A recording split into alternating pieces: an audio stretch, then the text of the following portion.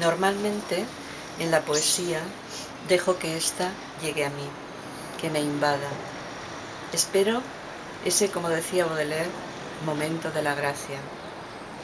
Procuro por tanto no forzarla, pero cuando llega ese instante invierto todos mis esfuerzos en materializar a través de la palabra poética el vendaval que surge a partir de las aprehensiones, de las observaciones, de los pensamientos, de los sentimientos y emociones, de las lecturas o de los sueños que han estado sedimentando en el inconsciente, cociéndose por dentro. A esta primera etapa le sigue otra no menos importante, que consiste en dar formas, racionalizando lo irracional que las imágenes o las metáforas albergan, engarzándolas a la música por la que vienen amparadas. En mi caso, cada libro tiene una música, un ritmo particular, porque pienso que este está íntimamente unido al contenido específico de un poema o de ese libro del que los poemas forman parte, como un todo interrelacionado.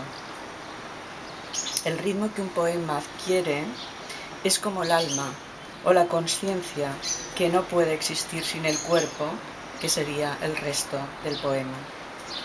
Y aunque en una primera lectura no logres comprenderlo, de alguna forma si el ritmo te seduce, si su armonía te resulta dulce al oído, vuelves nuevamente sobre él.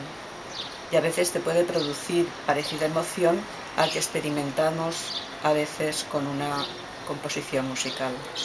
Solo que el poema tiene además imágenes, metáforas, palabras las que hemos de escuchar, ver las sugerencias que nos trasladan, hacia dónde nos conducen, si realmente están formando un círculo alrededor del centro que muestre una unidad de sentido con respecto a uno o varios temas. Aunque particularmente pienso que hay temas que se pueden desarrollar más libremente en géneros como la narrativa o el ensayo, también creo que la poesía puede tratar de multitud de temas. El secreto está en el tratamiento de esos temas.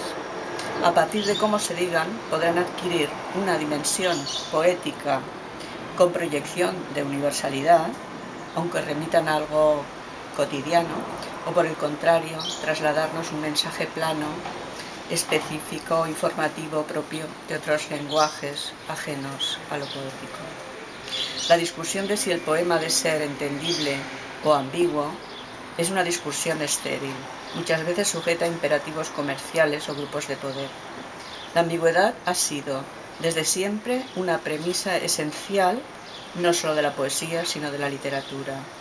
Lo que se ha de valorar es el resultado, la coherencia en el planteamiento, en el desarrollo, la poesía siempre ha sido y siempre será de minorías, precisamente porque implica un esfuerzo voluntario, detenido, generoso, que no todo el mundo está dispuesto a realizar, a ofrecer, a recibir.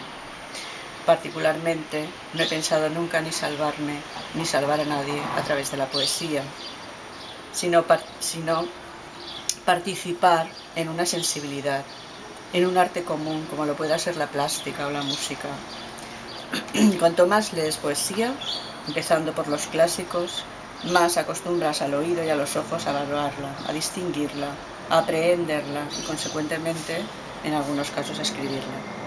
En Hacia lo Abierto, mi último libro de poemas publicado, dividido en cuatro partes, que son los cuatro elementos esenciales de la naturaleza, he intentado crear una pequeña cosmovisión, una reflexión acerca de nuestro lugar como seres humanos en un universo tan complejo como inabarcable, pero por otra parte sometido, como nuestra propia vida, al movimiento temporal de lo cíclico. A través de la idea de fusión con la naturaleza, de transformación y eterno retorno hay una búsqueda, el intento personal de encontrar un sentido al sinsentido de la existencia y de la muerte. Una creación estética que abre un interrogante ante el azar y la incertidumbre de la vida humana y de todo lo que la rodea. Así el libro se inicia con el siguiente poema. Ojalá, sabiéndome vivir, pudiera abrir mi corazón como granada, reintegrar la tierra, al agua, al aire, al fuego, esa semilla que a ti y a mí nos fue otorgada del espacio del continuo fluir pertenece. No temer a la muerte, sí a los dioses impuestos y palpables.